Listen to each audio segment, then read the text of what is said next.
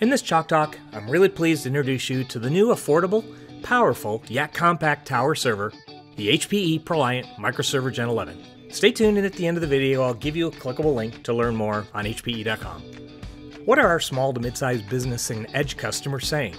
You're saying you need a server that meets your small business and edge needs and keeps your data secure while providing 24 x 7 support. Your budget requires an affordable option that still allows your business to thrive.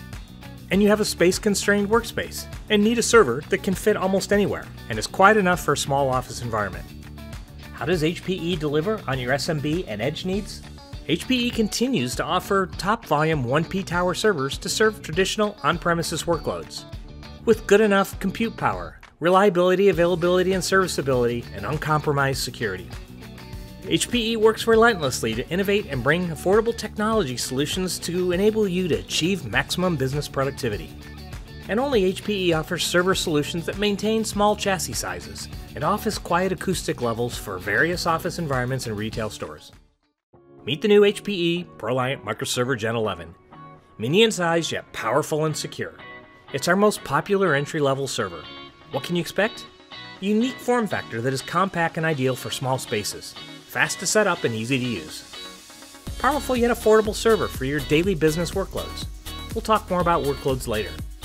And with a legendary ILO silicon root of trust and server management for security, reliability, and usability for your server. The next two scenes have a lot of detail, so have your finger on the pause button, because I won't mention everything. What's new with the HPE ProLiant Microserver Gen 11? New features from the previous generations are in blue bold font.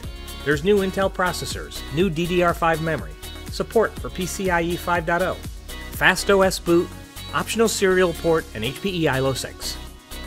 Let's look at more of the details in this mini in size yet still powerful and secure 1P mini tower server. You can see the front drive count, I.O. support, memory, storage controller, and more. And again, pause the video if you want to see the details. I said earlier we'd look at workloads for the HPE ProLiant Microserver Gen 11, so let's do that now. On-premises IT, a multifunction server for small to medium office environments. Remote and branch office gateway with software-defined networking and OEM solutions like retail point of sales, analytics for stores, and inventory management systems and remote management. Authorized IT professionals can provide remote maintenance support for remote and branch offices.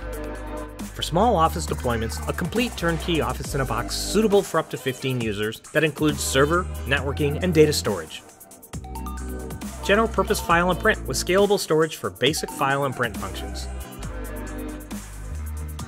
Small scale virtualization with Microsoft Hyper-V or VMware vSphere to run multiple workloads on a single server and edge to cloud to manage your workloads at the edge.